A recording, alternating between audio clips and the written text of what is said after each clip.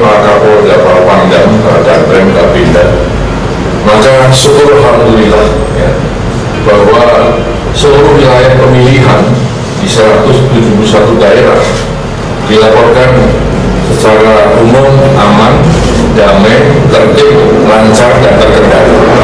Kemudian saya sampaikan juga masalah netralitas. Tidak ada laporan tentang netralitas dari petugas maupun dari aparat keamanan, baik dari anggota Polri atau TNI maupun BIN. Tidak ada laporan tentang ya, pelanggaran netralitas ini.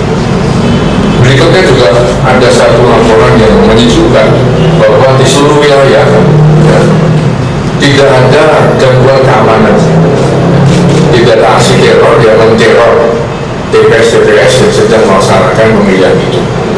Kita juga menyampaikan terima kasih pada seluruh masyarakat, terutama masyarakat pemilih ya, yang sudah dapat melaksanakan proses pemilihan secara demokratis, secara baik.